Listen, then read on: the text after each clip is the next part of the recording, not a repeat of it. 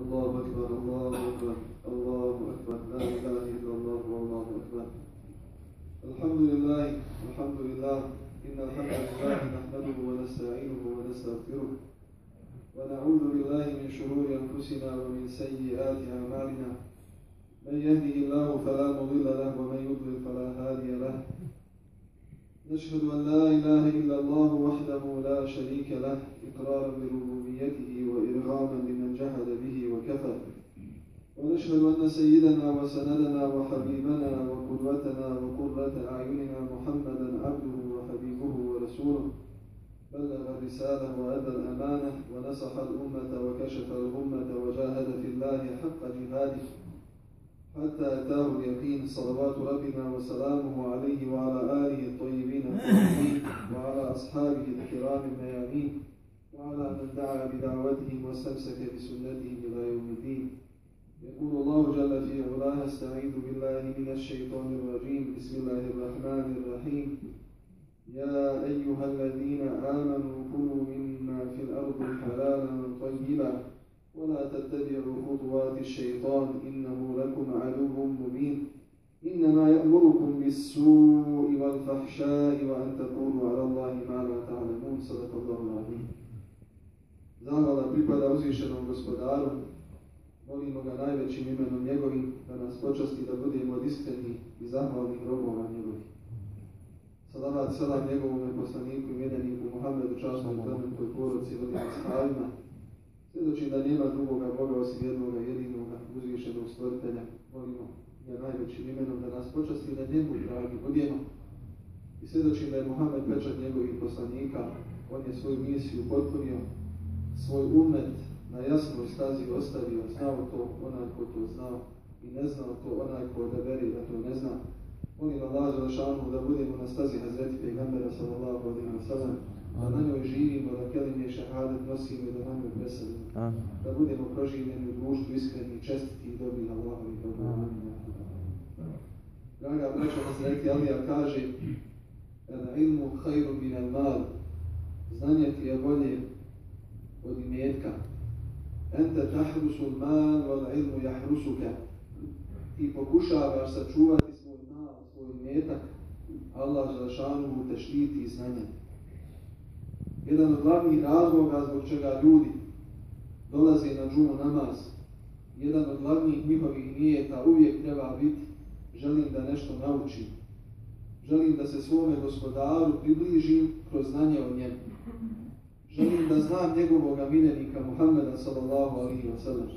Jer oba dijela kelime i šahadeta fa'alam annahu la ilaha illa Allah.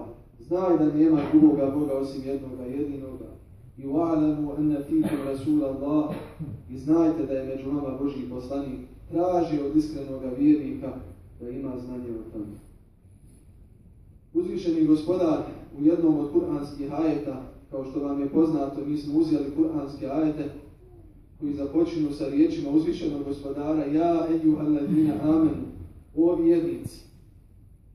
I zanimljivo je da svaki put kada vjerničko srce čuje ja i valedina amenu, ne može biti ne može biti ravnodušno prema tom pozivu, niti može biti ravnodušno prema onome što dolazi iza tog poziva.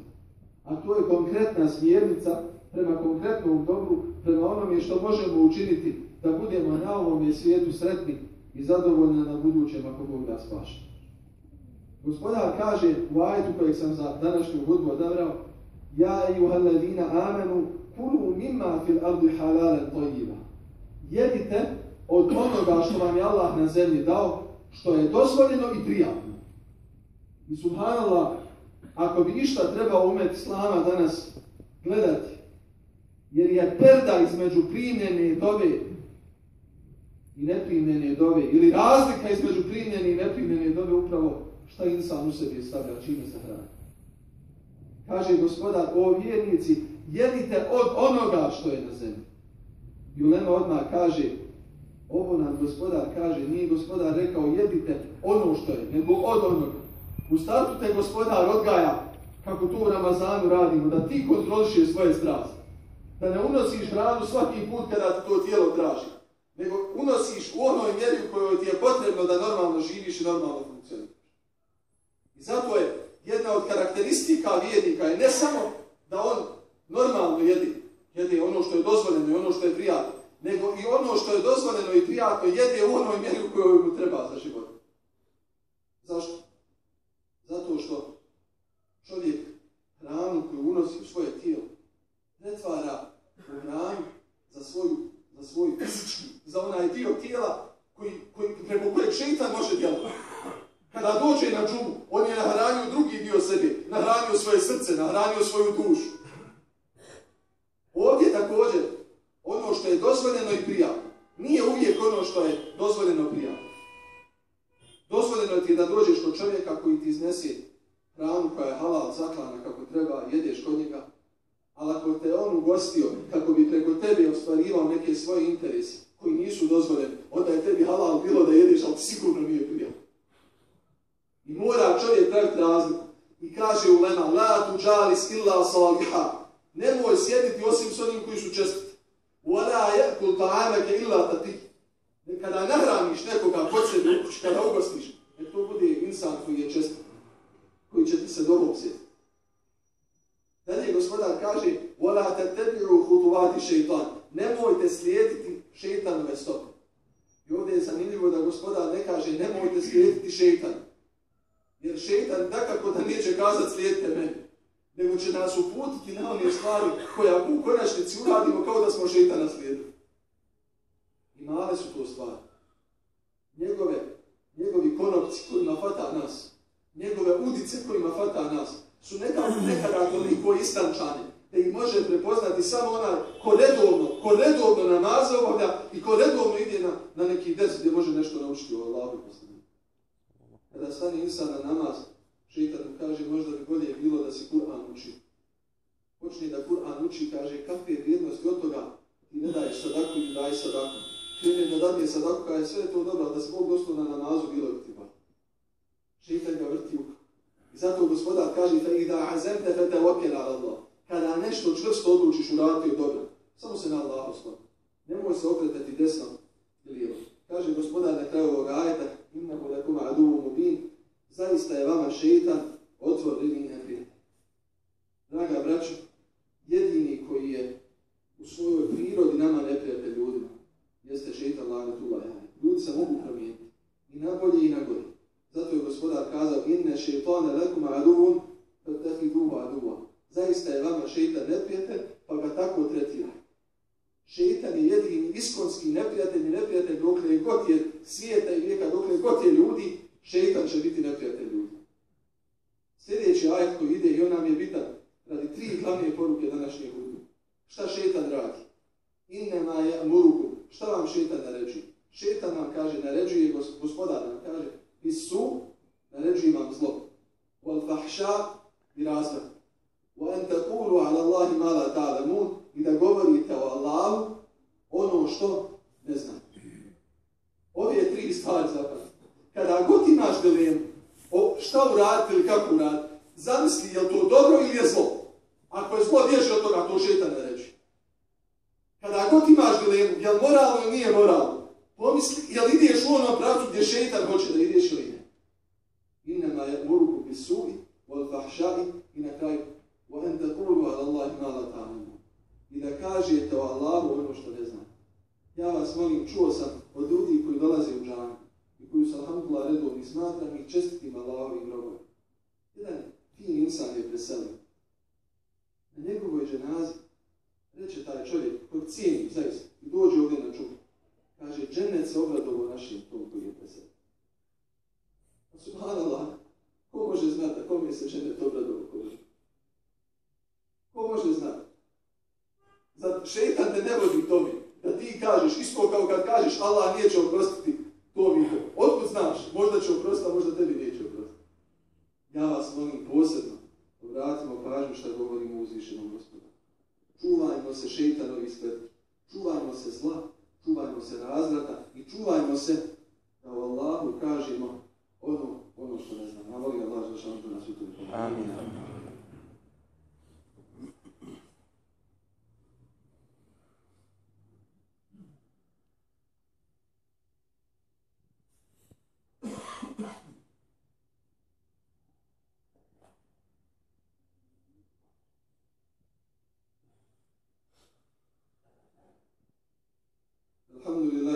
والصلاة والسلام على سيدنا المصطفى وعلى آله وصحبه ومن وفى ووفى Hvala dragom gospodaru, salavat selam njegovom miljeniku Muhammedu, čašnom predmetu Guru svojim ashabima.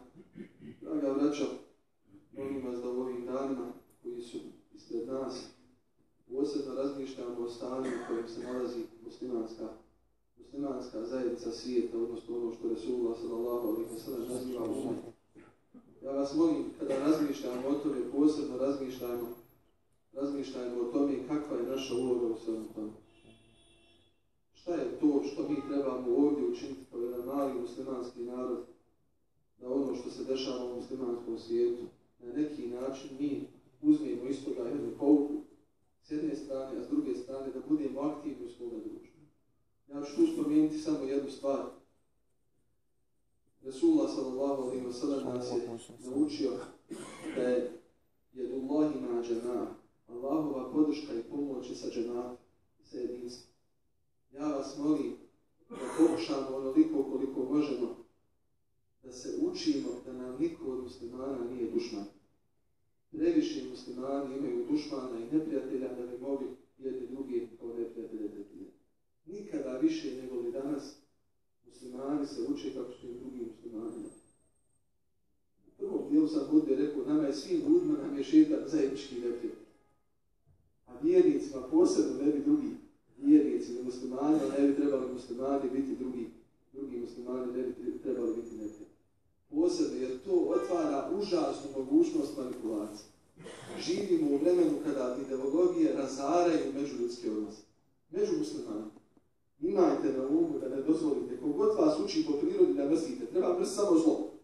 Treba insana kao insana, ne može da mrziti ni Allahovo stvorenje. Onak se odrekne zla, možda je sutra pored tebi u safu. Ili je možda pored tebi sutra da brani domovnu. Možda nije čak ni vjernik muslimana brani domovnu koju zajedno pripada. Ja vas molim, posebno vrate na pa- pažnju. Mlađi, koja ova naša generacija, na koju polažemo, ako u ulažemo nadu, da će gospodar dati preko njih. Pazite da vas bilo ko uči, da vam je bilo ko osim šetana nebi. Čim te nauči da ti je bilo ko, zato pazite, insan je insan. Insan se mijenja, sa insanom se radi. A insan se nikako ne bi smio odsjecati i udaljavati. I zbog toga posebna pažnja. Evo u vremenu kada imamo ova iskušenja koja je najavio Resulullah sallallahu alaihi sallam. Sve ove događaje. I da će se desiti ovo što se u prošlim sedmicama, ja sam u hadisima Resulullah sallallahu alaihi sallam čitao. Da će doslovno, da će oni koji evo sada bombarduju Siriju, sad tamo, doslovno čitat sada Siriju. Koga vam tamo bombarduju? Allah, dragi zna. Mi samo iz medija možemo govoriti. Doslovno 92. do 95. rekao sam vam, čitam gotovo 90% muslimanskog svijeta je bilo stabilno. Pogledajte danas, danas to kao vulkan, kao vulkan, erupcija je nasilja, nepravde i svega onoga što se dešava. Mi kao mali muslimanski narod imamo u najmanju ruku obavezu da se ovdje pobrinemo ti i ja da razumijemo stvarnost, da znamo da ti nije neprijatelj onaj ko ne želi zlo, nek ti je neprijatelj onaj koji želi zlo. I da je musliman taj, Resulullah je kazao, jer je sarađivao u jednom savezništvu da se stanovnici neke zaštite, muslimani, ne muslimani, kaže da me pozovu da se zaštiti svaki insan ja odazvu.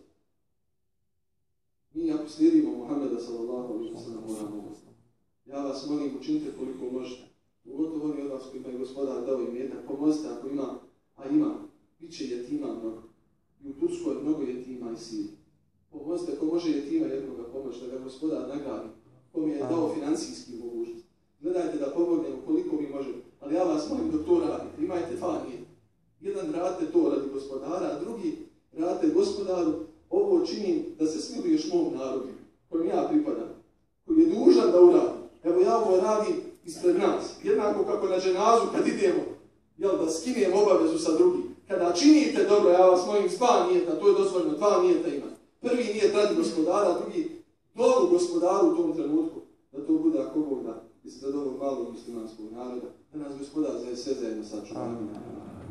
فلن يحصل الكلام ولا النظام كلام الله الملك العزيز العظام كما قال سبحانه وتعالى في موكب القرآن وإذا قرئ القرآن فاستمعوا له واسجدوا لعلكم ترحمون إن الله وملائكته يصلون على النبي الذين آمنوا صلوا عليه صلوا عليه وسلموا تسليما اللهم صل وسلم على سيدنا محمد في الأولين وصل وسلم عليه في الآخرين وصل وسلم عليه أبدا سبدا إلى يوم الدين Gospodar naš počasti nas, nemoj nas povisi. Gospodar naš oprosti nam grijehe, nemoj nas kazniti. Gospodar počasti nas da razumijemo šta je istina. Gospodar počasti nas da istinu slijedimo. Gospodar proživi nas sa onim koji su istinu slijedili. Najvećim temenom molimo ne prepusti nam sami sebi nikoliko treba. Molimo te gospodaru da izbjegnemo sve ono čemu nas šeitan poslije. Gospodar počasti nas da se udanimo od zla. Gospodar počasti nas da se udanimo od raza. Gospodar počasti nas da porodice svoje čuvamo, da brak svoju čuvamo. Gospodar počasti nas da nikada o tebi ne kažemo ono što ne znamo. Najvećim temenom molimo počasti nas da slijedimo Tvoga miljenika Muhammeda sallallahu alaihi wa sallam. Počasti nas vodi najbolji među nama, a ne najbolji među nama. Gospodar, ti prema nama onako kako tebi priliči onako kako smo mi zaslužili.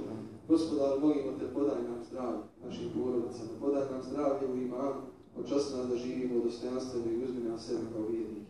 Najvećim temenom molimo svakome koji je uložio tu da mi tebi budemo odani. Daj najbolje što si dao iskrenim grobovima svojim. Koji su preselili pa im se smiluju pod zemljom, onim koji su živi podaj im zdravlje i počasti da iskreno preseli pred tebi, gospodar. Smiluje se nama roditeljima našima, smiluje se prisutnim i odsutnim.